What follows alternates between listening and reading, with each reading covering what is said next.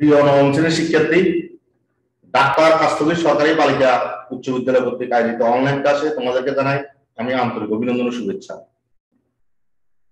তোমাদেরকে আজ তোমাদের গণিত বিষয়ে বাস্তব সংখ্যা রিয়েল নাম্বার এর শেষ ক্লাসটা দিতে যাচ্ছি। এর আগে আমি তিনটা ক্লাস তোমাদের করিয়েছিলাম এবং ক্লাসগুলোতে ছিল যে তোমাদের বইয়ে, পাঠ্য বইয়ে আমি চেষ্টা করেছি যে সবগুলা গাণিতিক সমস্যার সমাধান করতে। তাই আজকে তোমরা দেখো, তোমাদের বইতে, বইটা একটু দেখো। প্রথমে আমি, প্রথম ক্লাসটা ছিল আমার তোমাদের পাঠ্য বইয়ে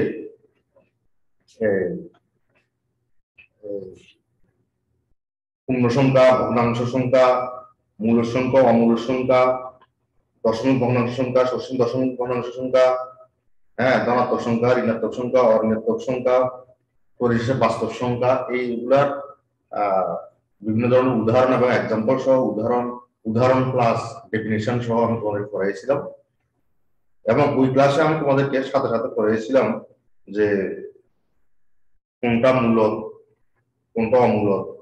তোমাদের বইয়ের বারো নম্বর আবৃত দশম ভগ্নাংশ প্রকাশ করো, আবার সাধারণ ভগ্নাংশ প্রকাশ করো। এর সাথে আমি করিয়েছিলাম তোমাদের গুণ করো, সতেরো এবং আঠারো, গুণ এবং ভাগ এগুলো করেছিলাম পরবর্তী ক্লাসে আমি এসে তোমাদেরকে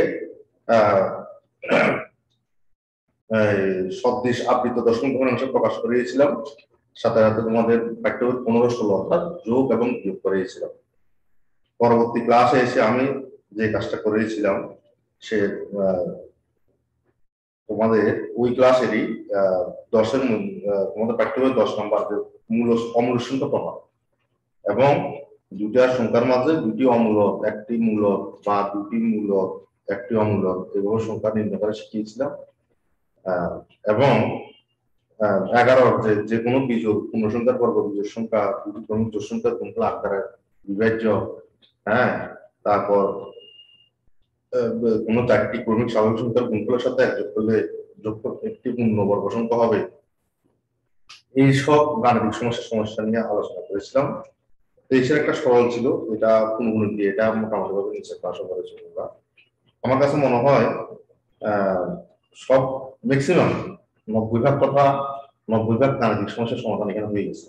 তোমরা যারা আমার ক্লাসটা ফলো করেছ, আশা করি তোমরা এরকম সমস্যা হবে না। আমি তোমাদের এখন বাইশ নাম্বার, তোমাদের পাঠ্য বইয়ের বাইশ নাম্বার রুট ফাইভ এখানে যেটা দিয়েছে রুট ফাইভ ও ফোর দুটি বাস্তব সংখ্যা, কোনটি মূলক কোনটি অমূলক রুট ফাইভ ও ফোর এর মাঝে ফোর এর মধ্যে দুটি অমূল সংখ্যা নির্ণয় করো। প্রমাণ করো যে রুট ফাইভ একটি অমূল সংখ্যা এটা প্রমাণ করতে হবে। রুট ফাইভ একটি কি? অমূল সংখ্যা এটা প্রমাণ করতে হবে। দেখো এখানে, এটা দেখে যাচ্ছে সহজ কথা।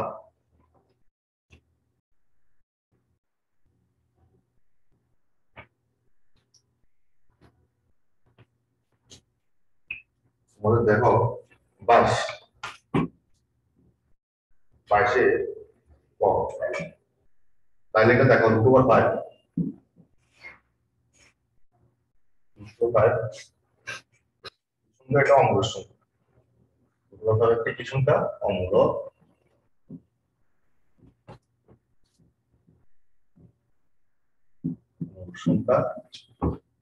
এবং ও একটি মূল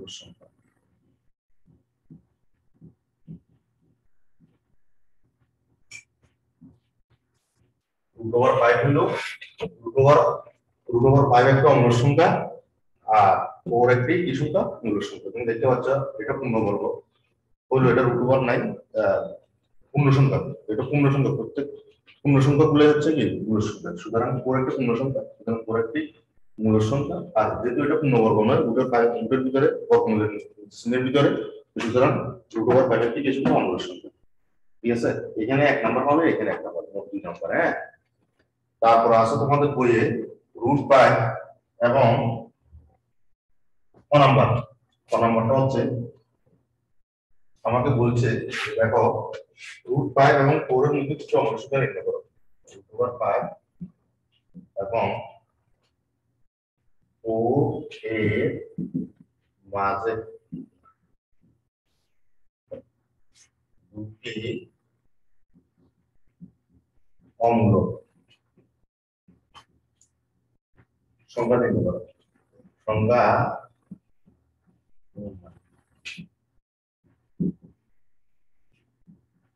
আমি এখন নিম্নবৃত্তে গেলে দেখো দুটো অম্ল এবং এখানে দুটো অম্ল মূলত চাইতে পারে। পরীক্ষা প্রশ্নে এখানে সেই চাইতে প্রশ্ন দুটো অম্ল আমার মূলত চাইতে পারে, আমরা এটা পড়িয়েছিলাম তা আমরা আগে রুট পাইপের মানটা আমরা ক্যালকুলেটারে বাইর করে ওভার পাইপ সমান। ওভার পাইপটা হবে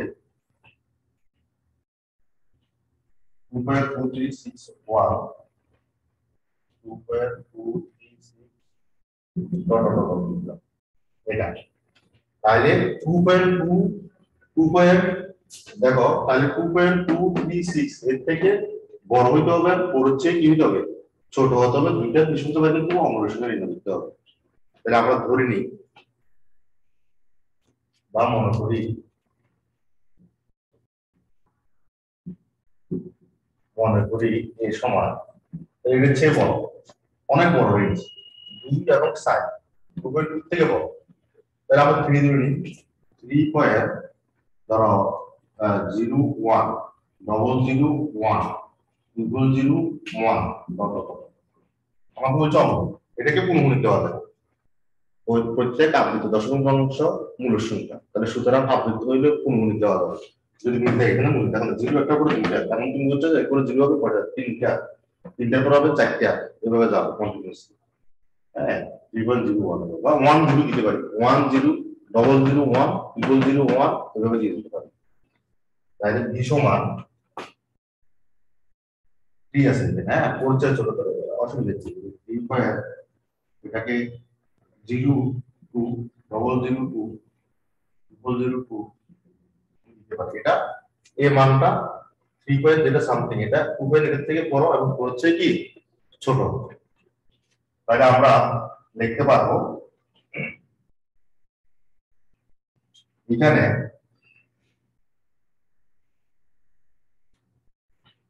এখানে টু পয়েন্ট বা টু টু ফাইভ থেকে এটা বড় two point zero one double zero one triple zero one এটা ফোর থেকে ছোট এবং root five zero two double zero two zero two তার মানে এই মানটা রুট ফাইভ এটার চেয়ে বড় এবং এটার চেয়ে ছোট। তাহলে আমরা সুতরাং অর্থাৎ কথা অর্থাৎ রুট ফাইভ থেকে এ যেহেতু এটি এ ধরেছে এটাকে এ এটা এবং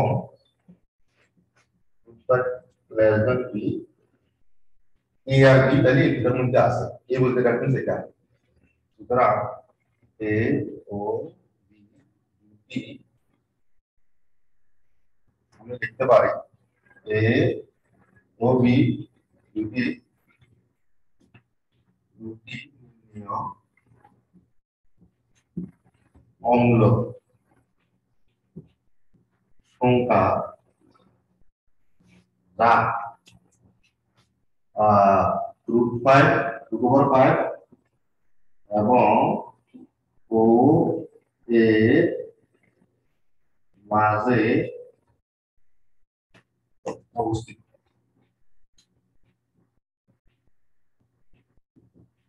তাহলে আমাকে প্রশ্ন বলেছে, তোমরা দেখো আমাকে প্রশ্ন বলেছে যে রুট ফাইভ এবং ফোর মাঝে দুটি অমূল্য শূন্য লিখতে পারো আমি রুট ফাইভ এর মানটাকে আগে কত হয়? দশমিক পনেরো নিয়ে গেলাম টু পয়েন্ট দশমিকে নিয়ে গেলাম two point two three six dot dot এরকম আরও আছে।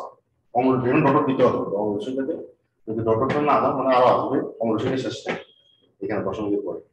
তাহলে এখানে নাইলে এটা ইয়ে হয়ে যাবে। এটা দশ দশমিক না দিয়ে আবার এটা মূল্য দিয়ে দেবে। তখন এটা এটা অমূল্য তাহলে আমাকে রুট ফাইভ মানে means two point two three six one আবার এক্সট্রা এর থেকে বড় হইতে হবে এবং ওর থেকে ছোট হইতে হবে। আমি এমন কোনো সংখ্যা ধরে নিচ্ছি যাতে রুট ফাইভ এটা এবং ওর মধ্যে অবস্থিত। তাহলে এটা এটা চেয়ে বড় এবং উপরের চেয়ে ছোট থ্রি পয়েন্ট সামথিংটা এটা এটা রুট ফাইভ মানে কত? টু পয়েন্ট টু এটাও দিতে পারতাম। টু পয়েন্ট টু থেকে এটা বড় এবং এটা চেয়ে ছোট এবং এটাও এটা চেয়ে বড় এবং এটা চেয়ে ছোট। আরও কত মন ধরা অনেক মন ধরা এই দুটোর মাঝে অর্থাৎ এটা এটা হচ্ছে এ অর্থাৎ এটা হচ্ছে এ বড় এবং চেয়ে ছোট এবং এটা হচ্ছে এ এর মান। বি বলতে এ মান হচ্ছে বি আর কি। এটা বলতে পারা তাহলে ইউ বি দুটি নির্ণয় যা রুট ফাইভ এবং রুট রুট ফাইভ এবং করোনাতে অবস্থিত। এবং স্পষ্ট ভাবে খেয়াল করতে হবে মূলত দিতে পারে, আবার অমূল্য দিতে পারে। মূলত দিলে এমনভাবে দিতে হবে যাতে কোনগুলি দেওয়া যায়। হ্যাঁ? এভাবে চিন্তা ভাবনা করতে হবে যাতে বা ডটর দিবে না বা কোনো কোনো দেওয়া যায়, এই জন্য একটু খেয়াল রাখতে হবে। হ্যাঁ? এগুলো করা গেছে হ্যাঁ? এখন চলে আসি আমরা ক নাম্বারটা।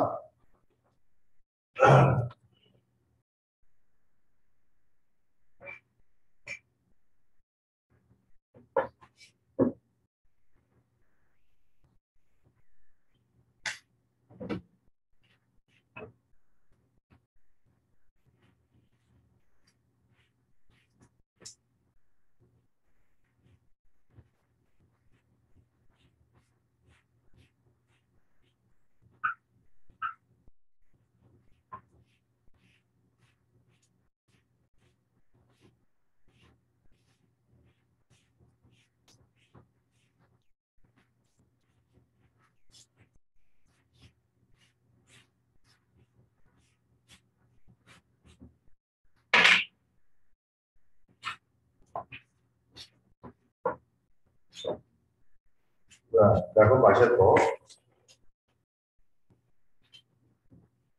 প্রমাণ করো যে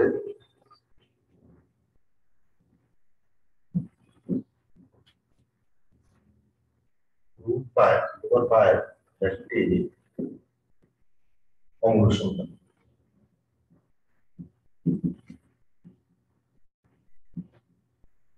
এটা একটি অঙ্গ সংখ্যা। তাহলে আমাকে এটা যদি অগ্রসঙ্গ প্রমাণ করতে হয়, তা আমরা এটা বলছিলাম যে বিরোধ পদ্ধতি বা কন্ট্রাডিকশন মেথডে আমরা যাব। এর আগে বলেছিলাম যে এটাকে দুটোবার বাক্যে আমরা মূলত ধরে নেব মূলত যদি প্রমাণ করতে না পারি, তাহলে এটা হবে অগ্রসঙ্গ তাহলে আমরা ধরি মনে করি। দুটোবার বাই একটি মূলত ধরে নিয়েছে হ্যাঁ?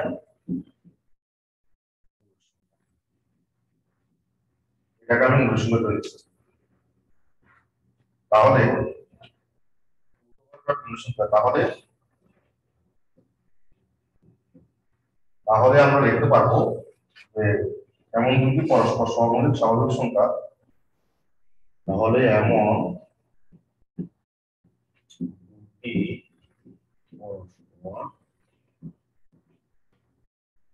এমন দুটি পরস্পর সহমৌলিক সংখ্যা সহমৌলিক আমি আগে বলেছিলাম স্বাভাবিক সংখ্যা।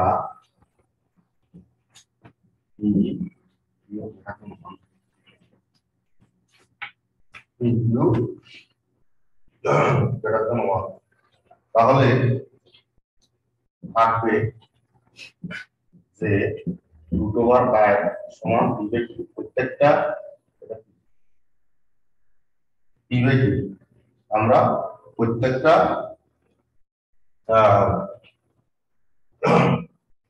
বিবেক বিভাগে প্রকাশ করা যায়। প্রত্যেক মূল সংখ্যাকে বিবেক বিভাগে প্রকাশ করা যায় এবং বিয়োগ পরস্পর সহমূলিক সহমূলিক স্বাভাবিক সংখ্যা বিক্রিয় বেড়াতে নেওয়া সেটা তো অসংখ্য আমরা বর্গ করি বা রুট পাই পুরো স্কয়ার সমান ই বাই টি স্কয়ার বর্গ করে বা পাই সমান P square by U square দ্বারা গুণ করি by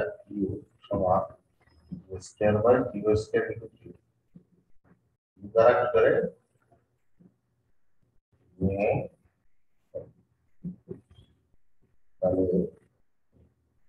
করে। তাহলে বাই কিউ সমান square by square by Q Q স্কয়ারের জন্য রাখবে কিউ তাহলে আমরা এখানে কিউ তাহলে এখানে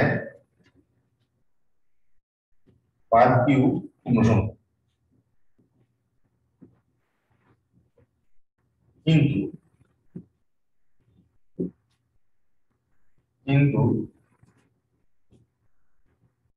স্কয়ার বাই কিউ পূর্ণ সংখ্যা নয়। কারণ পিকিউ হলো কি? কারণ পিকিউ স্বাভাবিক এবং এরা পরস্পর সহমূলক কারণ ও কিউ সহমূলিক সহমূলিক স্বাভাবিক সংখ্যা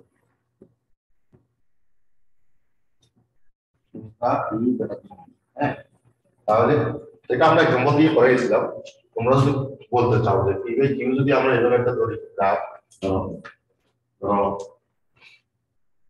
আমরা পি বাই কিউ ধরো এটা পি বাই ফোর দিয়েছি হ্যাঁ পি এর মধ্যে এটা থ্রি ফোর পরস্পর সহমৌলিক সংখ্যা সবাই স্বাভাবিক সংখ্যা থ্রি ফোর এবং এটা নট এটার মান তো জিরো নট ফোর তাহলে আমরা ধরি, তাহলে টু কিউ হইলে টু ইন্টু কিউ মান কত ফোর চার দুগুণ কত আট? তাহলে এটা পূর্ণ সংখ্যা। এটা কি সংখ্যা পূর্ণ সংখ্যা। এটা হচ্ছে পূর্ণ সংখ্যা। আর যদি পি স্কয়ার বাই আমাদের কিউ থাকে পি স্কয়ার বাই কিউ তাহলে পি স্কয়ার পি এর মান কত? পি এর মান হচ্ছে পি স্কয়ার বাই 4 তাহলে কি দিতে নয়, তাহলে এটা কত? আহ, উপরে কত? সামথিং হ্যাঁ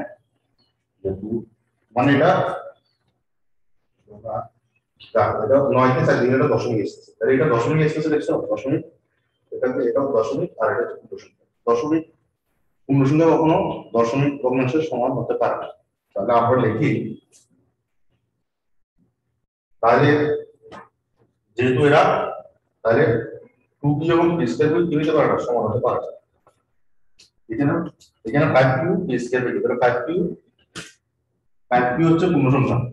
আর পি স্কয়ার বাই কিউ এটা পূর্ণ সংখ্যা নয়। তাহলে five Q five Q P square by Q এ সমান হতে পারে না। এটা সমান হতে পারে। অর্থাৎ five Q not usual P square by সমান হতে পারে এটা এটা কি? সমান নয়।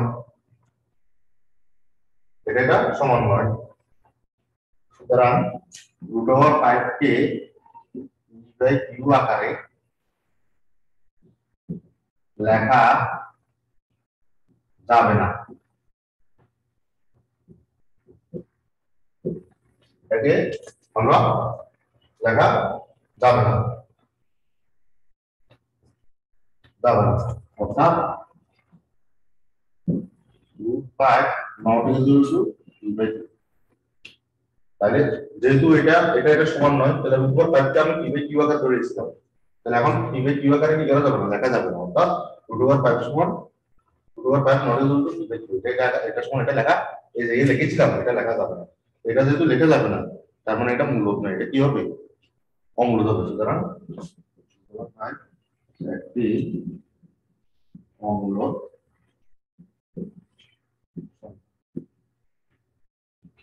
হয়। তাই আমি আবার আমার দেখো আবার একটু লক্ষ্য করো। প্রমাণ করো যে একটা অঙ্ক এটা প্রমাণ করতে হবে। তা আমি ধরে নিয়েছি, মনে করি ধরে নিয়েছি ওভার এটা বিরোধ পদ্ধতিতে আমি প্রমাণ করব। ওভার ফাইভ একটা মূল সংখ্যা। তাহলে এমন দুটি পরস্পর সমন্বয় স্বাভাবিক সংখ্যা কি? কিউ কিউ বেটাতে ওয়ান থাকবে ওভার ফাইভ সমান অর্থাৎ রুট ওভার কিউ আকারে কি করা যাবে? প্রকাশ করা যাবে। তাহলে আমি যদি বড় করলাম করার পরে এটা আসলো, তারপরে আমি শুরু তাহলে এটা আসলো। গেছি তাহলে ফাইভ কিউ দেখতে পাচ্ছ এটা পূর্ণ সংখ্যা। ফাইভ কিউটা পূর্ণ সংখ্যা। আমি এখানে একটা এক্সাম্পল দিয়েছি তোমাদেরকে। তোমরা দেখো এটাকে আমি করে নিচ্ছি মনে হচ্ছে? এটা বোঝার জন্য আমি এটা করেছিলাম যে টু এটা পূর্ণ সংখ্যা, বা এটা পূর্ণ সংখ্যা নয় এটা দশমিক আগে সাথে তাহলে আমার পাইপ কিউ এটা পূর্ণ সংখ্যা কিন্তু পি স্কয়ার বাই কিউ এটা পূর্ণ নয়। তার মানে এটা পূর্ণ সংখ্যা নয়। কারণ কিউ সমমূলিক স্বাভাবিক সংখ্যা এবং কিউ ওয়ান তাহলে ফাইভ কিউ সমান কারণ এটা সমান হতে পারে। তাহলে এটা সমান নয়, অর্থাৎ এটা এটা ধরে যেটা এটা এটা অর্থাৎ তাহলে আমি যেটা ধরছি ধরাটাই ভুল। অত মূল্য ধরতে পারব না। তাই মূল্য ধরতে পারলাম না, তার মানে এটা অমূল সংখ্যা। যেহেতু মূলত না এটা প্রত্যেক সংখ্যায় হয় হবে নতুবা অমূলত হবে বাস্তব সংখ্যা আর বাস্তব সংখ্যার মধ্যে নতুবা অমূলত হবে। যেহেতু এটা মূলত প্রমাণ করতে পারি না তার মানে এটা অমূল সংখ্যা হবে। মানে অত কঠিন না। আমাদের বইতে যেটা আছে, এটা আমি করার চেষ্টা করেছি। মোটামুটি আশা করি বুঝতে পেরেছ। এখন দেখো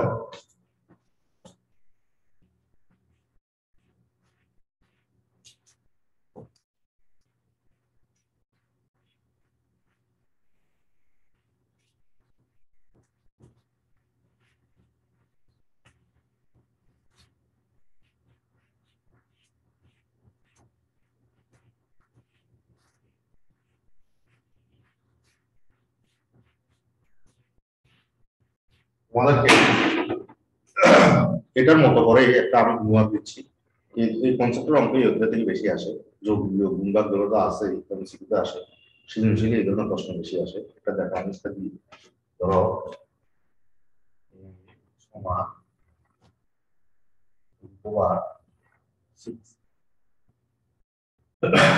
এবং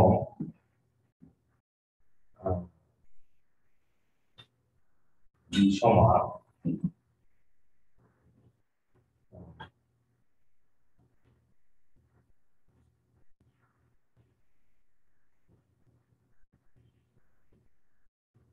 উপবার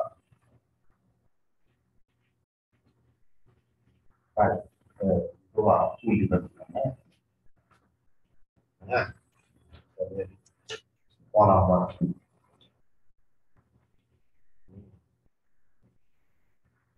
কোন নাম্বারে আমি ধরো এটার মতোই করি এটার মতোই করি।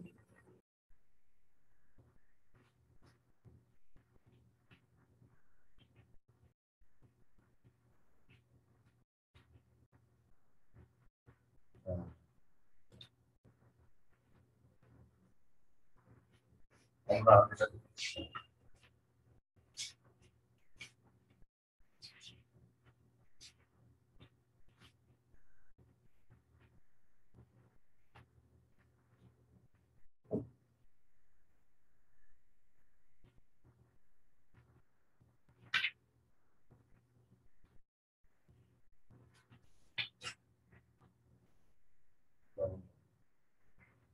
এটা গুণ করা দরকার হচ্ছে আমি ধরো গুণ করলাম হ্যাঁ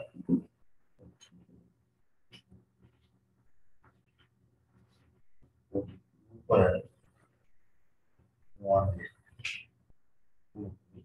ইন্টু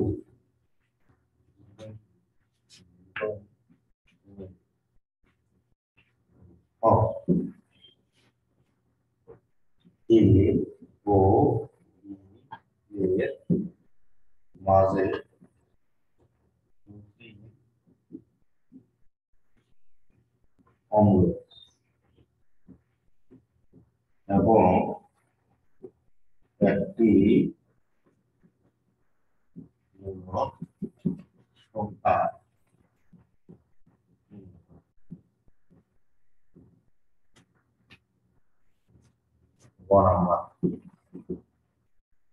এই দুটি অমূলক এবং একটি মূলক নিতে হবে যে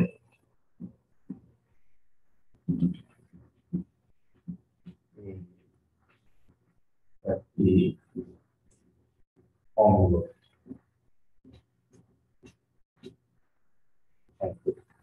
যে অঙ্কটা আমি তোমাদেরকে করাইলাম মাত্র যে যে সৃজনশীলটা আমি তোমাদের সমাধান করে দিয়েছি। এই সমস্যাটা দেখো, এই দুইটা সংখ্যা দিয়েছি। এটা আপনার রিলেটেড হইতে পারে আমার বাইক থেকে দেওয়া যায় পড়ানোটা আমি একটু গুণ করে একটা দিলাম বা যোগ করা দিতে পারি এরকম জিনিস। দুটো গুণ দেওয়া আছে আর এ আর বি এর মাঝে দুটি অমূল্য সংখ্যা, একটি দুটি, এ এর মাঝে একটি অমূল্য অমূল্য সংখ্যা হ্যাঁ। অমূল্য সংখ্যা এবং একটি মূল সংখ্যা নির্ণয় এটা চার নম্বরের জন্য আর প্রমাণ করা হবে একটি অমূল্য সংখ্যা। এটা তোমাদেরকে প্রমাণ করতে হবে। এই একটি কি? অমূল্য সংখ্যা এটা প্রমাণ করতে হবে। তোমরা পারবে এবং এর যে অঙ্কগুলা বোর্ডে এসেছে বা বিভিন্ন টেস্ট পেপারে এসেছে, এই অঙ্কগুলাকে কি করবে? আরও বেশি বেশি করে কি? প্র্যাকটিস করবে। আর তোমরা যারা অনলাইনে ক্লাসটা আমার ক্লাসটা দেখো তাদের নাম রোল রেফারেন্স আইডি নাম্বার কোন ক্লাসে পড়ো ডেট তারপর বিঘা এগুলো উল্লেখ করবে। এবং যদি তোমাদের কোনো বুঝতে অসুবিধা হয়, কোনো গাণিতিক সমস্যা থাকে, তাও তোমরা কমেন্টে লিখতে পারো। আমি চেষ্টা করব পরবর্তী ক্লাস তোমাদের এই গাণিতিক সমস্যাগুলো সমাধান করতে। এবং ওগুলো বারবার করে তোমরা অধ্যবসায় করবে। তোমরা জানো, গণিত বিষয়টা অবশ্যই অধ্যবসায়ের বিষয়। এটাকে প্র্যাকটিস করে করে এবং মুখ করে করবে। এবং যত বেশি প্র্যাকটিস করবে, যত বেশি সৃজনশীল প্রশ্ন, বহু নির্বাচনী প্রশ্ন সলভ করবে, তত বেশি তোমাদের জন্য সুবিধা হবে। এবারে এমনি একটু প্র্যাকটিস না করলে মনে থাকে না, এটা একটু বেশি বেশি করতে হবে। তোমার জন্য নতুন ভালো লাগবে। ক্যালকুলেটারটা একটু বেশি ব্যবহার তোমরা জানতে হবে এই অধ্যায়ের জন্য তো আশা করি তোমাদের ক্লাসটা ভালো লেগেছে। পরবর্তী ক্লাসে তোমার সাথে আবার দেখা হবে। আজকে পর্যন্ত সবাইকে আন্তরিক অভিনন্দন ও শুভেচ্ছা জানিয়ে আমার ক্লাসটা আমি এখানে শেষ করলাম সবাইকে ধন্যবাদ